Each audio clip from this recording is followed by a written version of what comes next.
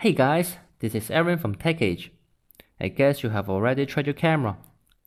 I hope everything went well, but if you have any question about your camera, please feel free to contact us. Our email is support at techage.com. In this video, I will talk about Cloud Edge app. I will show you the different sections and functions of the app, how to review the alarm notifications, the advanced settings about the camera, how to share your device with your family and friends, etc. Okay, let's get started.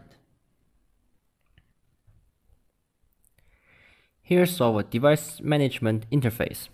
You can add or delete your devices. You can also check the alarm notifications and your video records here. We'll get to that later. Now let's see the live streaming video.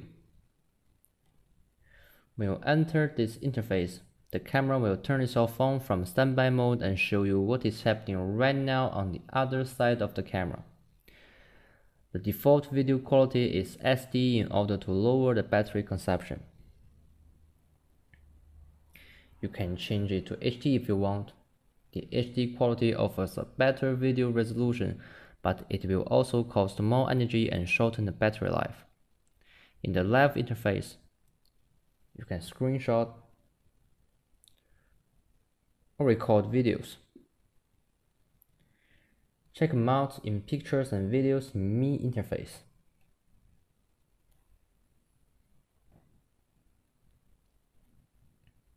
You can also edit your photos and videos. Let's choose a photo for example. Tap on edit. You can rotate your photo, crop it, change the filter, and other things. Tap here to compare and save the new image. The new image will be saved automatically in the smartphone gallery. As for the videos, you can also change the filter, the, vo the voice volume, and the brightness. Now let's get back to the live video interface.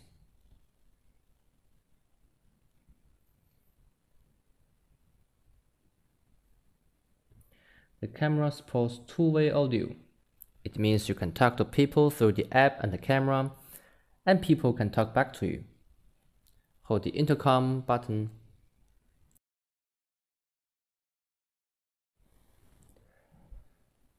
There's also a motion detection switch button. There are some situations that you don't need a camera to detect movements. At this moment, you can turn the motion detection off quickly by tapping this button. Okay, now let's talk about the settings of the camera. Tap the three dots on the right top of the screen. You can see your account name, your device name, the notification switch, and other settings of the camera. Let's go through these settings one by one. First of all, device share. You can share the device with your family or your friends. It means that your family or your friends can also see the live video, take screenshot, or record videos. But they are not able to change the settings. There also a video tutorial to show you how to share the device.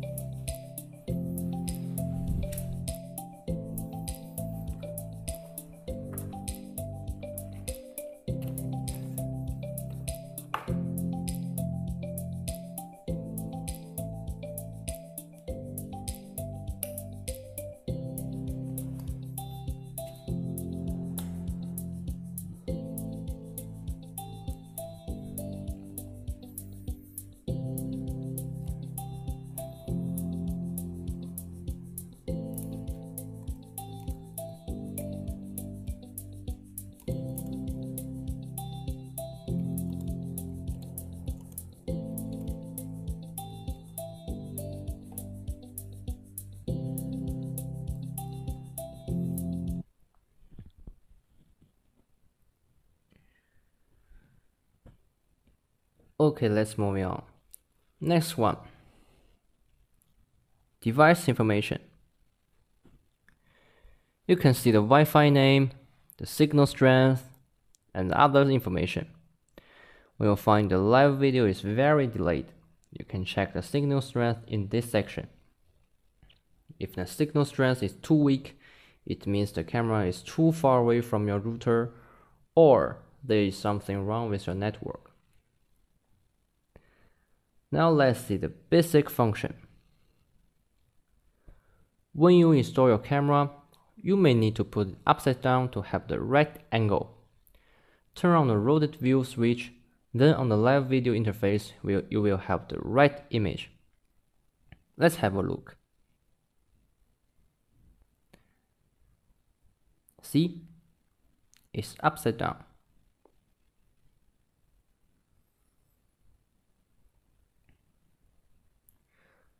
There is also a night vision switch. If you turn it on, it means it will show you the night vision black-white picture no matter how bright it is in the room.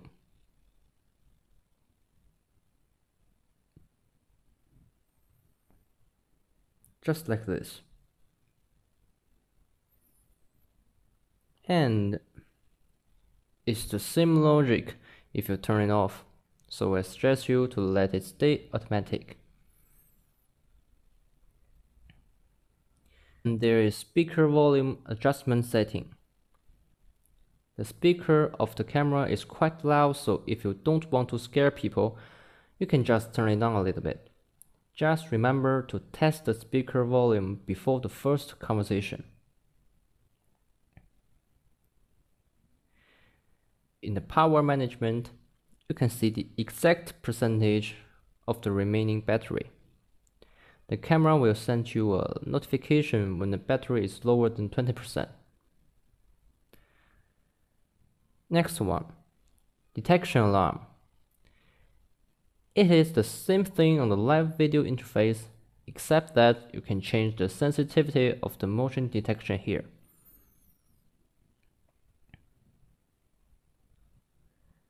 When you put it to high, the detection range is further and the camera will take more images and videos, but the battery will run faster.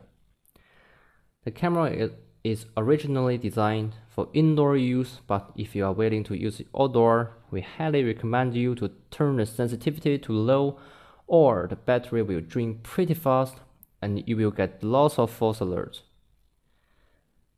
As for the alarm plan, you can set the time period during which the camera detects movements.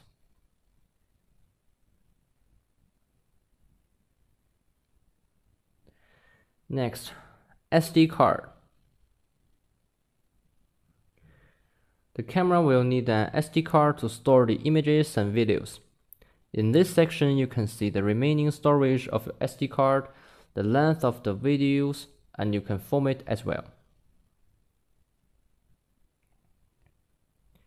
Cloud Edge provides a cloud storage service, but it is paid. Since we won't get a single penny from this service, we don't recommend you to use it. And I'm just kidding. The cloud service of Cloud Edge is simply just not convenient to use, so you'd better get your own memory card to make sure that you guys can use the camera at the moment you receive it. We have already put an SD card in our camera. However, our SD card is 16 GB, so for some people this storage is not enough. The camera supports maximum 168 GB custom micro SD card. So pay a little bit of attention when you buy it and if you meet compatibility problem between the camera and the SD card, you can send us an email at any time. To remind you, our email address is support at techage.com. That's all for the settings of the camera and the app. Now let's take a look at the alerts and the notifications.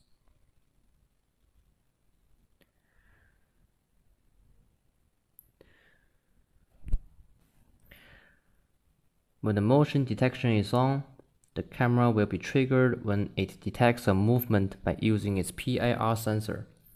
The sensor will receive the IR wave emitted by humans and animals or other heat sources, so please do not put the camera behind glass because glass will reflect and refract some of the IR waves and block the camera from detecting movements. When the camera is triggered by movement, it will take two photos first, then start recording a video. These photos and videos will be stored in your memory card or your cloud drive if you bought the cloud service.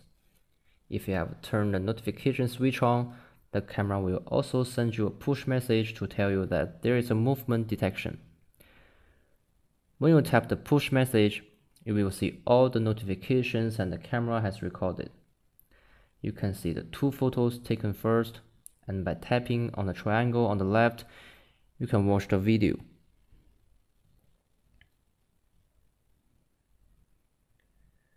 The interface will automatically jump to cloud storage interface. If you didn't buy the service, tap history to enter the SD card storage. In this section, you can see all the videos and camera has taken. Under the video interface, you can see a time track.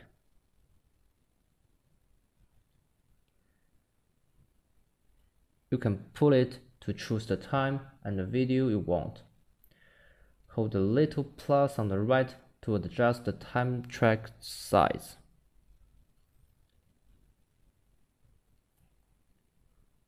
On the time track, you can only see the video taken today. If you want to review earlier videos, tap on calendar and choose the date.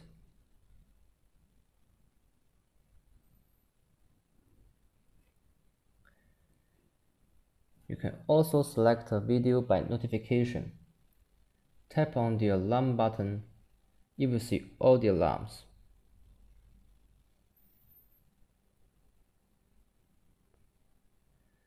Type 1 then you will see the video taken at that moment.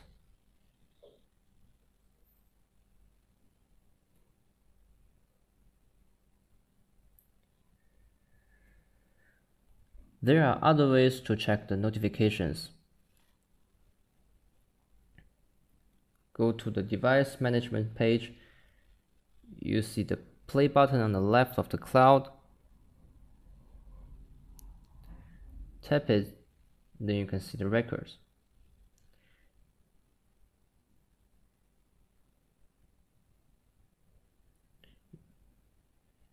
You can also check them out in messages. Tap messages on the bottom of the app. Then choose alarm messages. Then your device. Voila, your photos and videos. So, that is pretty much all the information about the app. If you have any other question or problem about our product or the app, you're welcome to get in touch with us by sending us emails. One last time, our customer service email address is support at techage.com. If you are willing to know more about us, we invite you to subscribe our YouTube channel, TechAge on YouTube, and follow us on our Facebook page. Well, that's all for this video. Thank you very much for your time. I hope that you can enjoy your little camera and have a lovely day. See ya! Aaron's out.